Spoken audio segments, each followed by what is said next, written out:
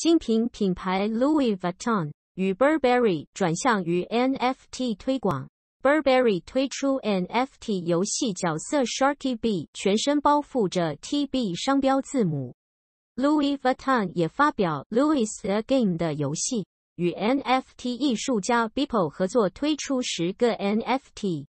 其他时尚品牌考虑是否跟上 NFT 的热潮。